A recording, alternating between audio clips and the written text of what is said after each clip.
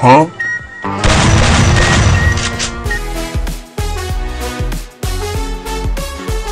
Hai hai hai, berjumpa lagi dengan Mas Mazing. Mas Mazing yang asli, yang ada botaknya teman-teman. Seperti biasanya, kita akan ngebahas tentang update-update terbaru dan juga bocoran ataupun spoiler dari game Free Fire Battleground ya. Ada spoiler tentang Gold Royal terbaru, ada juga spoiler gosip tentang kolaborasi Free Fire dengan Assassin's Creed teman-teman. Oke, bagi kalian yang belum subscribe channelnya Mas Mazing bisa dibantu subscribe atau dibantu like lah minimal. Oke, sudah, kalau begitu langsung tanpa banyak cincong kita langsung ke bocoran yang pertama. Let's go! Oke, di bagian pertama ini kita bahas dulu tentang update di training yang kemarin belum sempat kita bahas ya. Dan di training ini sekarang ada perkembangan yaitu di bagian shooting practice ya. Kalau yang sekarang itu kan modelnya itu musuhnya itu cuma kotak-kotak seperti ini ya.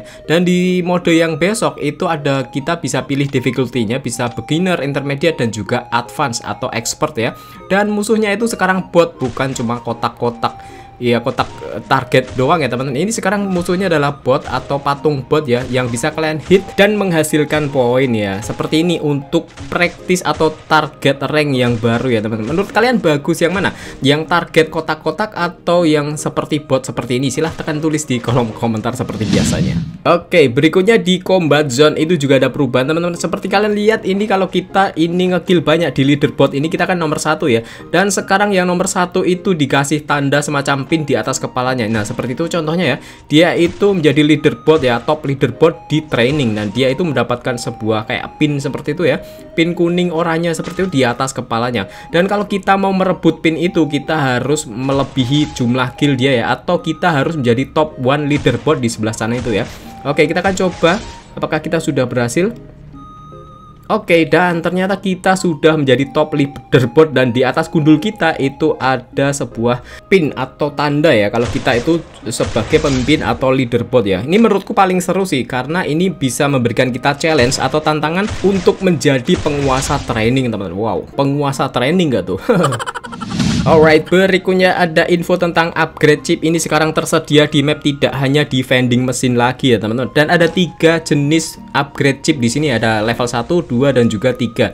Dan itu bisa kalian gunakan untuk mengupgrade senjata-senjata yang memang sudah ada seri X, Z dan Z-nya ya. Di sini contohnya adalah M 4A1 ya. Kita upgrade satu kali dia akan menjadi M4A1X tapi kalau di e, namanya itu dia menjadi M4A11 gitu ya. Tandanya dia itu sudah di upgrade satu kali. Kalian bisa lihat di kanan atas itu di bagian senjata itu ada tanda seperti angka satu ya teman-teman ya. Dan kalau kita mau mengupgrade lagi ini bisa di upgrade sampai level 3 ya teman-teman ya. Dan setiap level itu memberikan keistimewaan tersendiri ya. Dan di level 3 atau di level max itu dia senjatanya berarti overpower banget sih. Jadi paling keren ya.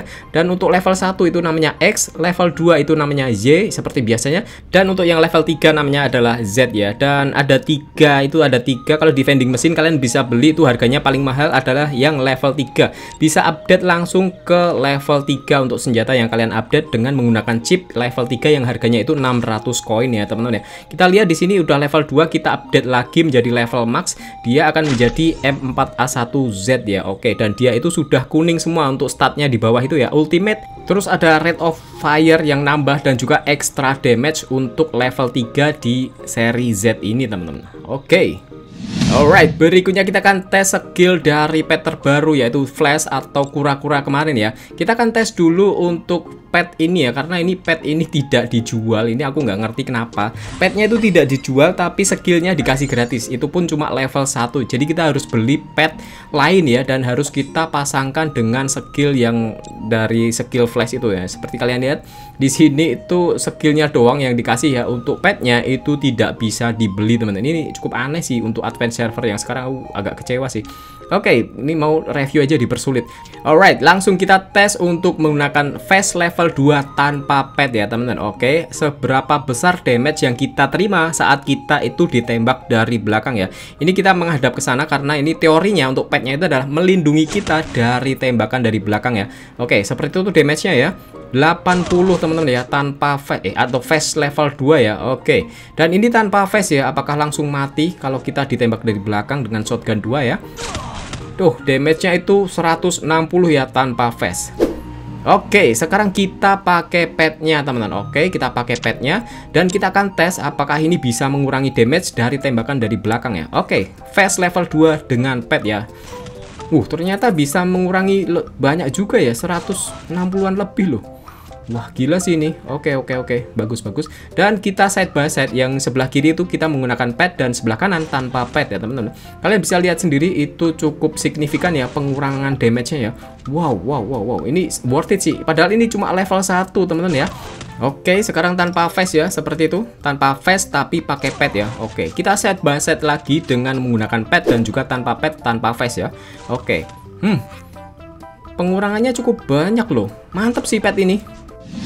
Oke, berikutnya kita akan review tentang MX MX M1887X ya. Itu berisi 3 peluru katanya ya. Dan ternyata itu hanya hadir di mode class squad di airdrop ya, teman-teman. Dan itu pun hanya hadir di aduh di ronde-ronde terakhir teman-teman jadi ini di udah match ketujuh dia baru muncul ya itu pun munculnya di terakhir ya dan di awal-awal itu dia tidak muncul karena memang drop rate-nya ini dibikin sangat jarang ya karena ini memang overpower banget sih tiga peluru itu sudah sangat overpower ya untuk shotgun. Shotgun 2 aja isi peluru dua itu sudah overpower. Apalagi isi tiga. Waduh ngeri sih dan kita lihat ini kalau kita untuk nembak glue wall itu sekitar 3-4 kali hit itu langsung bisa pecah ya. Itu kalau di dikasih skin itu auto wah hmm, nggak imbang sih ini permainannya kalau dia itu misalnya muncul di airdrop yang awal. Tapi untungnya ini sama Garena dibikin dia itu drop rate-nya itu kecil. Jadi dia hanya turun di match-match yang sudah krusial atau kritis. Kalau nggak salah itu match ke 7 kalau saya dan untuk mode yang uh, class squad seperti ranked biasa itu dia tidak muncul teman-teman. Aku nggak ngerti kenapa apakah ini memang hanya hadir di custom room class squad? Nah kita akan tunggu aja di update besok. Kalian bisa coba sendiri nanti setelah fitur ini rilis di update setelah tanggal 19 Januari. Oke, sekarang kita ngomongin gosip-gosip terbaru dari Free Fire ya. Oke, ada gosip tentang adanya kolaborasi terbaru Free Fire yang ini mungkin akan dirilisnya nggak dalam waktu dekat ya. Tapi ada sebuah spoiler ataupun pertanda-tanda dari game Free Fire itu akan berkolaborasi dengan Assassin's Creed. Ini ada di in-game ya. Ini seperti ini tampilan dari bundle Assassin's Creed-nya teman-teman. Versi Free Fire tentu saja. Bagi kalian yang nggak ngerti Assassin's Creed itu apa, ya, itu Assassin's Creed itu sebuah game dari Ubisoft atau Ubi Lembut ya. Dan dia itu semacam sekumpulan pembunuh seperti itu ya pembunuh bayaran atau seperti apa. Ya pokoknya seperti itulah untuk untuk gamenya. Kalian pasti sudah tahu lah ya. Kalau nggak tahu kalian bisa searching aja di Google. Kalian bisa cari Assassin's Creed seperti itu ya. Oke dan untuk bocoran lobbynya ini diperkuat dengan tampilan lobby yang di mana di belakangnya itu ada sebuah patung seperti orang memakai jubah. Kalian bisa lihat gini kita zoom ya. Oke seperti patung uh, Enzo ya atau Enzo Assassin's Creed itu namanya karakternya kalau nggak salah Enzo atau siapa sih atau Enzio itu seperti itu ya. Dan ada icon Assassin's Creed berwarna merah dan di tengahnya itu ada pisau. Kalian bisa lihat di kanan atas. Nah itu semakin memperkuat bahwa Free Fire memang akan berkolaborasi dengan Assassin's Creed. Tapi ini cuma 60% sih untuk realitas kebenaran gosip ini. Next, kita ada bocoran tentang starting island untuk besok ya. Setelah tadi ada lobby terbaru, akan ada bocoran starting island. Ini masih prediksi berdasarkan dari gambar dari in-game yang di advance server, teman.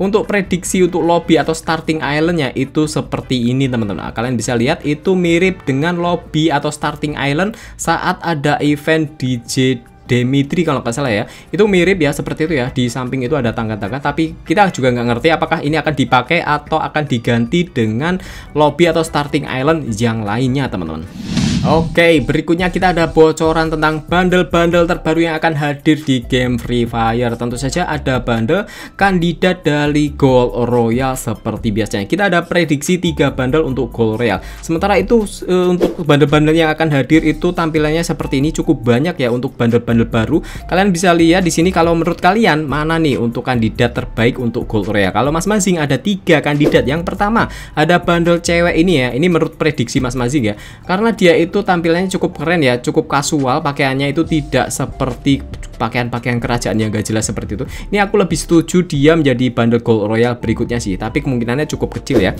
Dan yang kedua ada bundle versi kuning dari bundle Supreme yang kemarin ya. Ini kalau nggak salah kemarin pernah rilis untuk versi merahnya untuk bundle apa ya klaber kalau nggak salah ya. Yang versi merah itu cukup bagus dan ini ada yang versi oranye atau kuning ya. Dan ini menurutku sih ada peluang 60% rilis di gold royal. 60% aja, nggak 100% bener ya. Oke, berikutnya ada kandidat ter baik nih. Menurutku ini sih yang akan menjadi goal royal. Kenapa? Karena belakangan ini Free Fire itu sering mengeluarkan bundle-bundle gratis yang bertema seperti kerajaan-kerajaan ya. Seperti yang kemarin itu bundle yang warna merah itu rambutnya itu seperti ini mirip ya. Dan juga bundle yang cewek kemarin yang dun-dun itu yang kuning itu juga bertemakan kerajaan. Jadi kita akan tunggu aja yang mana yang akan menjadi bundle gold royal berikutnya. Oke, info terakhir untuk event besok pagi jam 10 pagi akan muncul atau Free Fire akan kedatangan event bernama ini event baru sih dua burung satu batu ya. Dua burung satu batu harusnya satu burung dua batu ya ya kebalik sih.